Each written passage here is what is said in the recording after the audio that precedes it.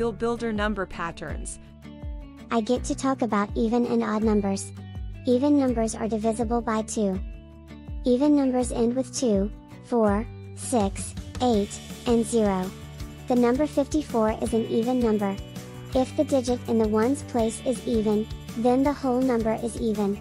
Odd numbers are numbers that are not divisible by 2. Odd numbers end with 1, 3, 5, 7, 9. The number 51 is an odd number.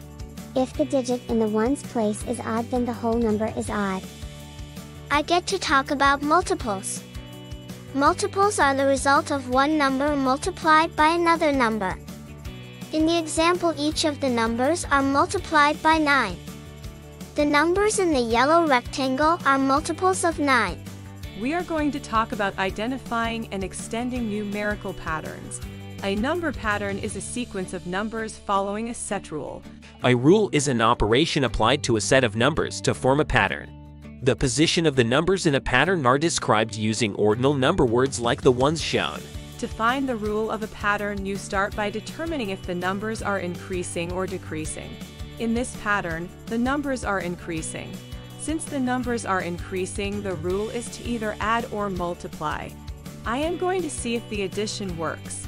I start by finding the difference between the number in the second and first positions. There is a difference of 4. I need to check and see if the rule works for the rest of the pattern. If I add 4 to 70, I get an answer of 74. The rule for this pattern is plus 4. Now we will extend the pattern by finding the value of the numbers in the fifth and sixth position of the pattern. To do this, we add 4 to the number in the fourth position. This gives us an answer of 82. Then we add 4 to 82 to find the number in the sixth position. This gives us an answer of 86. Thank you for joining our family on this exploration of number patterns. Come back soon.